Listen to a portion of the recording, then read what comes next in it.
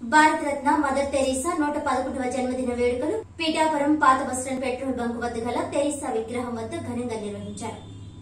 ముందుగా mother Teresa విగ్రహానికి పూలమాలలు వేసి ఘనంగా నివాళులర్పించారు. అనంతరం నిరుపేదలకు వస్త్రాలు పంపిణీ చేశారు. ఈ సందర్భంగా సామాజిక కార్యకర్త కొండెపూడి శంకర్రావు మాట్లాడుతూ సాయం చేయడానికి ఉండవలసింది డబ్బు కాదు మంచి మనసని. మరియు కులం వద్దు మతం వద్దు సమానత్వమే మన సరిహద్దు అంటూ నిజ జీవితంలో ఆచరించి చూపించిన మానవతావాది మదర్ తెరీసా అన్నారు. అడగకుండానే అవసరాలు తెలుసుకొని అభాగ్యుల జీవితాల్లో వెలుగులు నింపిన విశ్వమాత అని కొనియాడారు. ఈ కార్యక్రమంలో వైసీపీ నాయకులు బొజ్జారు రామయ్య మరియు A to Z volunteer Sara Shekhar Karri Rambabu Kurakula Rambabu తదితరులు పాల్గొన్నారు.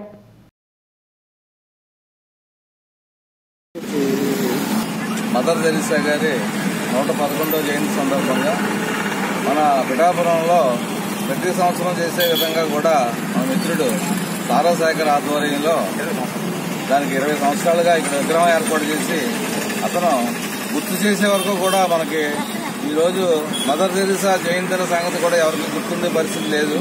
ఒక శాఖల ద్వారా కూడా అది మన ఊరు మన మన పట్టణం అందరికీ కూడా మదర్ థెరిసా గారు ఎప్పుడు కూడా జీవించి ఉండేలాగా అతని ద్వారా నలుగురు తెలుస్తుంది కాబట్టి ముఖ్యంగా అతను ఈ సందర్భంగా మనం అభినందించవలసిన అవసరం ఉంది. ఇదే సందర్భంలో ఇదే సందర్భంలో పేదలకు కూడా ఆ వస్త్రదానం చేయడం తర్వాత ముఖ్యంగా ఎప్పుడూ కూడా మన పట్టణ పెద్దలైనటువంటి శ్రీ మొద్ద పెదబాబు గారు వారు ఎప్పుడూ కూడా ఇలాంటి కార్యక్రమాలకు చేదోడు వాదోడుగా ఉంటూ కూడా ఆ శాఖలు చేసే కార్యక్రమాలను ఏ కార్యక్రమాలను కూడా ఆయన ఇక్కడ పట్టణంలో పెద్ద దిక్కుగా దాని వ్యవహారం చేస్తూ ఉన్నారు. చేదంటే ఎప్పటికీ కూడా ఇలాంటి కార్యక్రమాలకి వారు అందించే సహకారానికి వారికి కూడా ధన్యవాదాలు తెలియజేసుకుంటూ ఈ అక్టోబర్ రెండో తారీఖున మన పోలీస్ స్టేషన్ సెంటర్లో మన మిత్రుడు సారాశేఖర్ ఆధ్వర్యంలోనే నేతాజీ గారి విగ్రహాన్ని కూడా ఆవిష్కరించడానికి ప్రయత్నాలు జరుగుతున్నాయి. అది త్వరలోనే మున్సిపల్ కౌన్సిల్ తీర్మానం చేసి నేతాజీ సెంటర్గా కూడా దాన్ని ఆ, గుర్తింపు పొందేలా చేస్తే బాగుంటుందని చెప్పేసి కూడా ఈ సందర్భంగా తెలియజేస్తున్నాం మానవ సేవకు! మానవ సేవకు! మానవ సేవకు!